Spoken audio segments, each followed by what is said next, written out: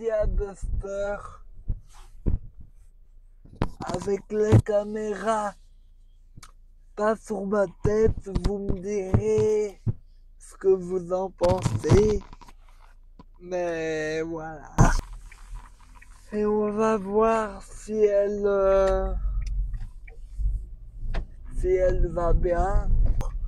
Pour moi, elle est com- elle est confortable comme une Dacia assez sommaire quand même. hein.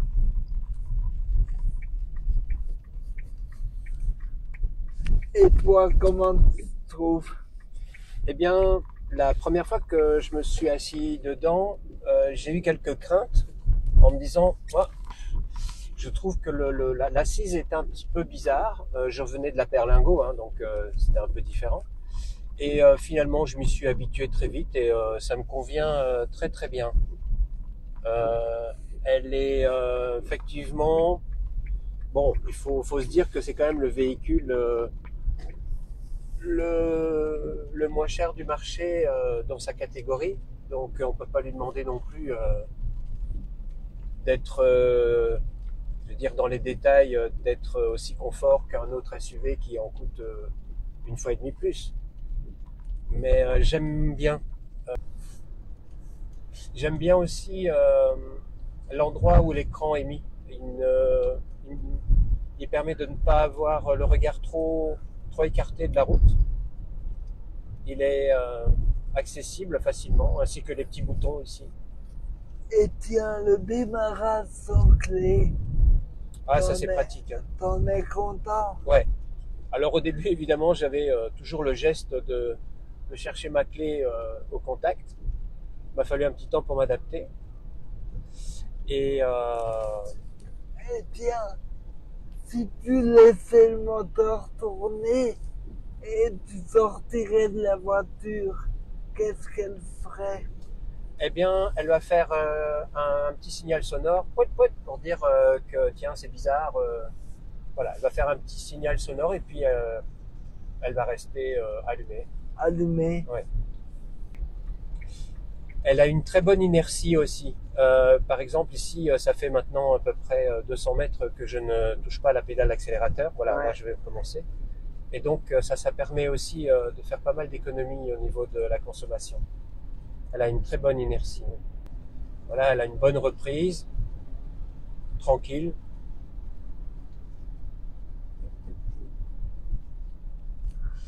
Et alors, venant de la Berlingo, évidemment, c'est ce que j'ai recherché euh, en changeant, c'est euh, une voiture un peu plus silencieuse et euh, un peu mieux isolée.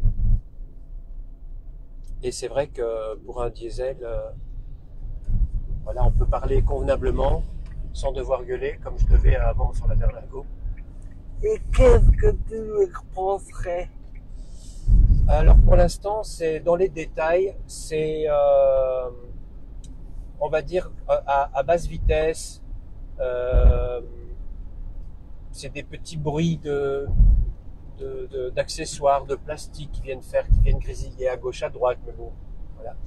Euh, le, les sièges pour les bouger, euh, c'est toujours un peu, faut y aller avec force, surtout le siège sur lequel tu es, le siège passager. Trouve qu'il est difficile à bouger si on n'est pas dessus. Euh, mais sinon, euh, je trouve qu'au niveau de la place, euh, voilà, au niveau des accessoires, au niveau du, du, du bagage à main ou de l'intérieur des portières, enfin tout ça, tout ça c'est bien. Je n'ai pas beaucoup de reproches pour l'instant en fait dans cette voiture. Euh, elle convient vraiment à ce que je recherchais, quelque chose de simple et, euh, et agréable malgré tout. Mais tu vois, on- je sais pas si on l'entend, mais Oui, on l'entend. il y a- c'est des petits grésillements comme ça, euh, des petites choses de, de- de- du plastique. euh, et voilà, c'est très très minime. Hein. Il y a des travaux. Ouais. Et moi, ben, je suis bien mis. euh, Il n'y a pas de, euh, vraiment de soucis. euh.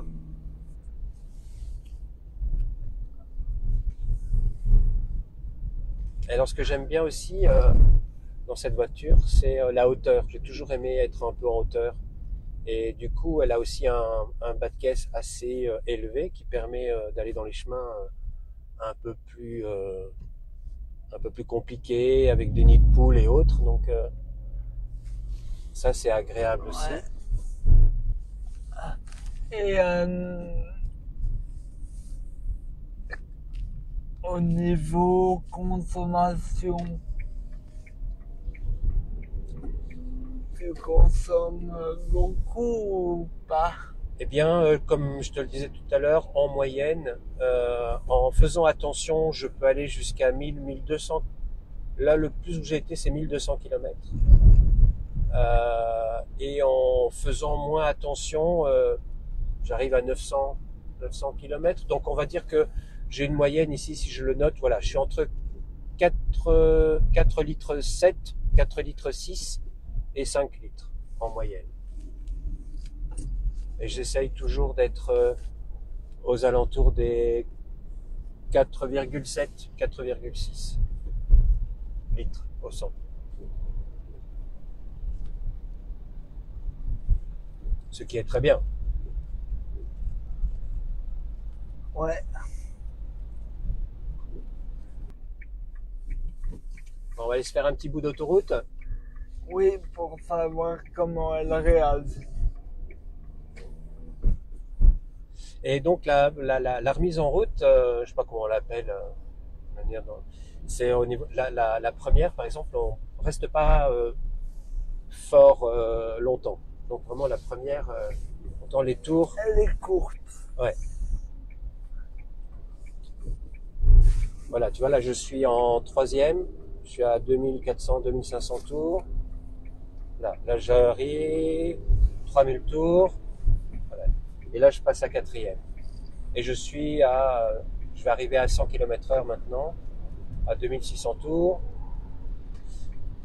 Et donc une fois que la troisième est passée, je trouve qu'elle réagit très bien. Mais jusqu'à la troisième, les voitures, de, les, les voitures, les vitesses doivent être passées assez rapidement pour euh, obtenir une vitesse de réaction euh, Ouais. efficace. Sur la, seconde, troisième, ça traîne un peu, et puis après, euh, ça redémarre. Voilà, là par exemple, je suis en, cinquième, donc euh, pour la doubler, ça va, ça réagit. Et là, je passe la sixième à 120. Là, je peux pas aller plus vite. Je n'ai pas le droit. Surtout qu'il pleut. Bon, maintenant, on roule à vide. Donc, j'étais sur la cinquième. Donc, les, voilà. La reprise est bien, mais c'est pas non plus, euh, voilà. Et au niveau du coffre, euh, On fera un petit tour quand on sera arrêté. ouais, hein. ouais. Euh, ben, en fait, je souhaitais changer de voiture. Euh, J'avais euh, trois, trois priorités. C'était euh, la consommation, la grandeur de la voiture, pas trop grande, et que le coffre euh, soit, euh, soit quand même suffisamment spacieux pour pouvoir, euh, voilà, venant du berlingot, de ne pas être trop frustré. Et, et voilà, je, voulais changer, de passer du semi-camionnette à une voiture, entre guillemets normale. Et vraiment, je suis pas déçu. Donc évidemment, ça m'a changé en venant du berlingot, c'est sûr, c'est pas le même genre de coffre, mais il est, il reste spacieux, euh, relativement euh, accessible aux- à l'entrée, fait un peu plus d'un mètre de large. euh. Alors je crois que au niveau du litrage, c'est 450 ED, un truc comme ça. Enfin, ça reste un, un bon coffre euh, qui est à peu près identique à ceux que propose euh, euh, VW, euh, que ce soit dans la T-Cross ou T-Roc, T-Cross, je crois. La... Ouais. Alors voilà, j'ai regardé que c'était assez similaire. La seule chose que je regrette, c'est, euh, mais ça c'est quand même pas souvent dans ce genre de voiture, c'est que les les sièges se rabattent, mais ils ne se rabattent pas, ils n'offrent pas une assise plate. C'est toujours un peu euh, en biais ça. Je regrette, mais bon. Niveau commande de clim, t'en es content Euh, oui, alors la clim euh, et euh, on va dire le, le système de, de ventilation en général, euh, j'ai dû un petit peu chipoter. Euh, c'est pas super précis, mais euh, ça va. Donc, euh, je repère euh, déjà maintenant un petit peu euh, les, les paramètres, mais euh, je trouve qu'au début, euh, c'était pas évident de, de trouver euh, la bonne, euh, les bonnes orientations. Voilà, ça aussi, ça reste très sommaire. Hein. Ils n'ont pas. euh, je crois que c'est ça aussi, c'est tout ce genre de petites choses qui font que cette voiture ne coûte pas très cher. C'est euh, Ouais, Ouais, c'est ça. C'est euh, ici, euh, voilà, ça va d'en haut en bas et de gauche à droite, mais voilà, c'est pas. c'est très plastique. Ouais. Là, je suis à la moitié de la force de la ventilation, donc je vais mettre, voilà, ici. Ouais. Tu vois, tu. On, on ne ressent, voilà, on commence maintenant à ressentir un peu l'air. Mais euh, voilà. Non, le système de ventilation est très basique et euh, c'est pas ce qu'il y a de mieux. On va très dire que vraiment c'est le. Le point, on va dire, pour moi, euh, premier point négatif avec euh, des petits bruits de d'accessoires comme ça. euh. J'aime bien euh, la conduire, elle est agréable. euh, J'aime bien, elle est souple, elle est euh, réactive, suffisamment. Je ne cherchais pas non plus à investir dans un véhicule qui m'offre davantage de choses. Donc, moi, franchement, moi, je conseille ce genre de véhicule euh, pour toutes personnes qui ne sont pas des fans de voitures, mais qui, euh, qui cherchent un véhicule qui euh, roule. qui roule bien et sans devoir non plus euh, débourser trop d'argent. Et niveau niveau sécurité. Alors au niveau de sécurité, ben, comme dans toutes, euh, maintenant à peu près toutes les voitures, hein, il y a euh, les séries airbag avant euh, ici. Bon, il n'y a pas sur les côtés bien sûr, mais les deux systèmes airbag. Au niveau sécurité, autre, j'ai des alertes sonores, donc c'est pour le parking. J'ai le système que je peux brancher ou non euh, sur les rétroviseurs. Là, je sais pas comment on appelle ça pour l'angle mort, petit signal lumineux. Mais moi, je suis pas très fan de ça. Et en plus, je suis motard, donc euh, je vois le nombre de voitures euh, dont les petits signaux lumineux s'allument et ils n'ont pas l'impression pour autant de me voir. Et donc voilà, je trouve qu'on n'est pas voilà. Je je vais le brancher en ville, mais je le débranche sinon quand je suis Quand sur la route parce que je trouve pas ça utile et c'est même distrayant plus qu'autre chose. Au niveau sécurité, sinon pour répondre plus précisément à ta question, j'ai pas plus que ça. une famille avec des enfants. Tu conseillerais cette voiture à une famille avec des enfants? Eh bien, euh, oui et non. Euh, alors euh, oui parce que ben euh, ça conviendrait euh, très très bien parce qu'à l'arrière c'est quand même trois places sans, sans trop de soucis. Il y a moyen de mettre pas mal de choses dans le coffre. Moi je l'ai acheté avec un attache remorque pour pouvoir avoir voilà. Donc pour moi c'était ça aussi. C'était le, le coffre un peu plus petit, mais alors du coup je me permets la possibilité de mettre une remorque ou un attache vélo ou des choses comme ça.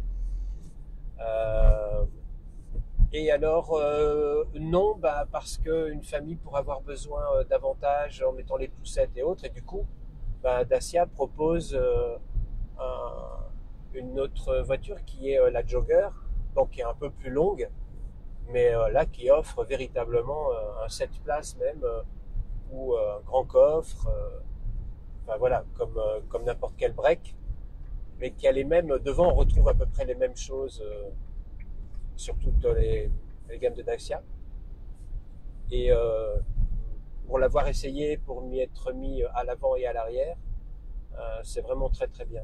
Et au niveau budget, euh, ils, ont sorti euh, l'hybride, je sais, donc elle existe en hybride aussi.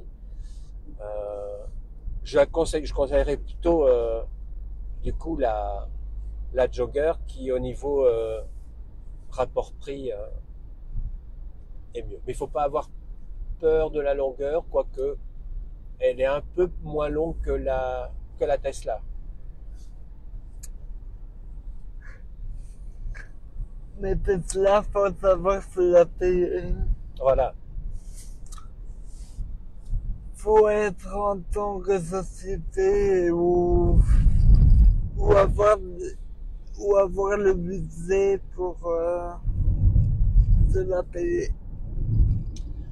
Mais bon, moi je ne, je n'ai pas de, je, je ne connais pas bien euh, le, le marché de l'automobile, mais bon, voilà, on sait que le thermique, euh, a Va pas de futur. mais- va s'essouffler un jour. ouais. Ce jour-là, je le vois venir parce que je le vois venir et en même temps, j'ai pas envie qu'il soit là si- parce que je trouve qu'une voiture électrique, oui, t'as des gadgets électroniques, mais euh, ça n'a pas d'âme, quoi. Ah, ah. Il n'y a pas le bruit du ronronnement du moteur, il n'y a pas, y a pas d'âme. Ouais, je comprends. C'est euh, joli ce que tu dis. C'est vrai qu'il y a. Puis bon, il y a, il y a tout un tout un passé. Nous sommes au début de l'électrique, donc euh, c'est vrai que il y a toute une vie derrière. Toute une évolution euh, historique et, technologique. Donc c'est. Mais bon, le pétrole et les émissions de CO2 euh, que cela génère, évidemment, il est logique qu'on se pose des questions et qu'on veuille réduire. Justement, tiens, devant, on est, euh, il y a une Dacia, la Logan. Euh, là aussi, euh, je me souviens, c'était la première Logan que j'avais vue. Il n'y avait rien d'électrique dedans. Les vitres électriques, il n'y a pas si longtemps que ça, il doit y avoir une dizaine d'années. Les vitres se levaient à la main, tout était mécanique. T'allais chez le garagiste, il entretenait et arrangeait cette voiture comme un vrai mécano. Quoi. Aujourd'hui, c'est plutôt des, des informaticiens qui vont euh, s'occuper des voitures. Oui, euh, il faut savoir euh, s'en occuper, quoi.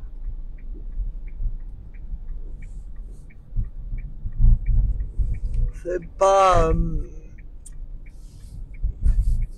tu vas pas changer une batterie, ça va.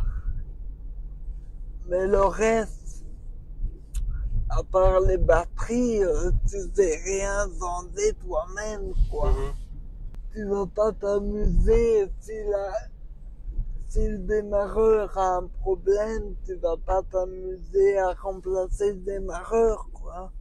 Non, c'est ça. Et tiens, est-ce que t'as le régulateur de vitesse? Oui, il y a le régulateur de vitesse également, qui est euh, aussi bien fait. Donc il est ici euh, au volant, hein, commande au volant. Ouais. J'ai un petit bouton aussi euh, euh, pour déclencher le- l'appel vocal. euh.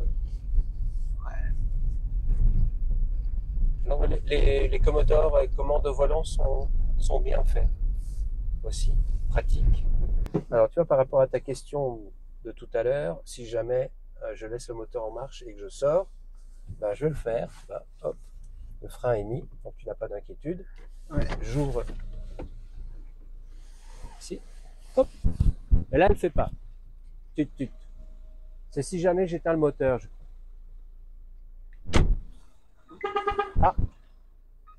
Voilà. Tu vois, c'est ça. T'as entendu? J'ai fermé Oui. la portière. Il dit Ah, vous avez quitté votre véhicule sans l'avoir arrêté. Ouais. Je disais, euh, on a la radio ici, donc euh, c'est très sommaire. On choisit la radio, mais bon, c'est pas top. Après, il faut revenir sur euh, l'écran de contrôle de base ici pour aller rechercher un autre euh, registre. Bon, voilà, un, un autre média. Et donc, par exemple, la navigation, je l'utilise très très peu puisque j'utilise surtout euh, euh, mon téléphone avec mon ça- application ici, Apple Play, voilà, avec euh, Waze, par exemple. Ouais, ouais. Et j'utilise essentiellement euh, essentiellement ça. Donc voilà, l'écran est tactile, il réagit euh, Ouais, voilà très très bien. Mais euh, effectivement, en en route, je ne l'utilise pas comme ça. J'ai mes trois, euh, mes trois raccourcis qui sont Waze, euh, Spotify pour la musique et euh, le téléphone. Ouais. Voilà. Et donc ça se présente comme ça ici avec. Et alors, pour tout ce qui est euh, désactivage Alors ici, sans ouais. clé, Donc il y a un véhicule, paramètre euh, du véhicule. Alors on peut verrouillage autoporte en conduite, ouvrir, fermer en main libre, fermer à l'éloignement, ouvrir à l'approche. Euh, donc ça, je peux désactiver ou activer. Donc avec ma, ma, ma, ma carte, on va dire, ma carte clé. Son du verrouillage à l'éloignement, ça, ça a énervé Martine, donc je l'ai enlevé. À l'accueil intérieur, donc euh, ça c'est si je mets on, alors chaque fois que je rentre dans la voiture, on a une petite musique. voilà. Euh, plutôt du gadget. Et, et c'est tout. C'est tout ce à quoi j'ai accès. Après, c'est Driving Echo. Euh, là, il met des notes euh, sur la conduite, Ouais. euh, le bilan du trajet effectué. Voilà, tu vois ici mes 4,8. Oui. Ce qui est pas Voilà. énorme. Et euh, Echo Conseil après, voilà. Mais ça, euh, bon, ça reste encore Mais à ça le- reste encore. Voilà, donc c'est assez sommaire également, mais juste ce qu'il faut, pas besoin de plus. Pas besoin de plus. Eh ben, On va aller voir le coffre. oui. Euh, Donc vous avez euh, la cuisine à gauche, les toilettes au fond à droite.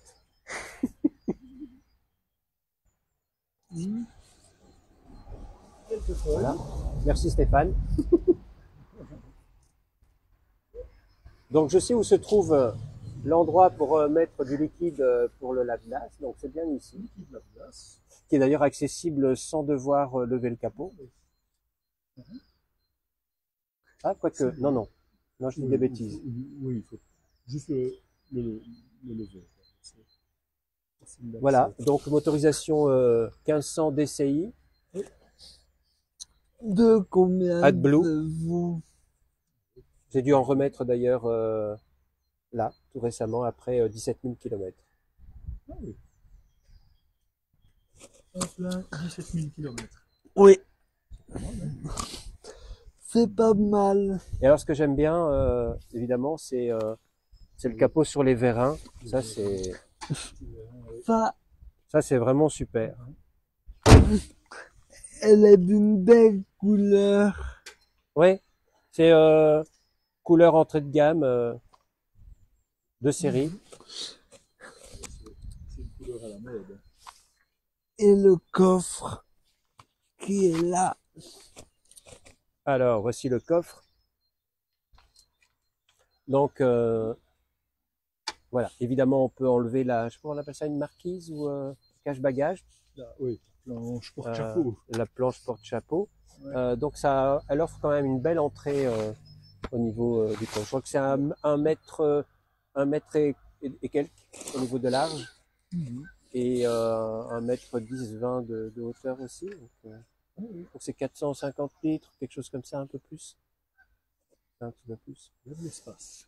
Ouais. Et euh, comme je disais tout à l'heure, euh, la seule chose que je regrette, c'est évidemment comme euh, pas mal de voitures de cette gamme-là, c'est qu'on, lorsqu'on abaisse les sièges, le, le plateau n'est pas plat.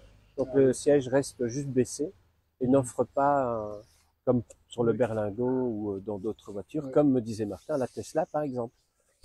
Ah, Mais bon, c'est pas le même prix. Comme je le disais tout à l'heure. Voilà.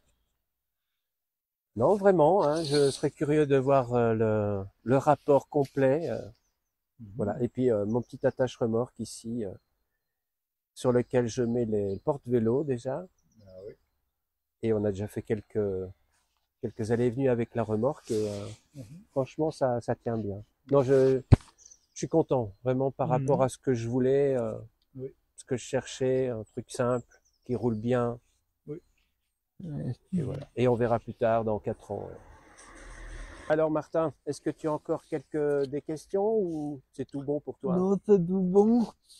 Euh, voilà. À bientôt pour une nouvelle vidéo.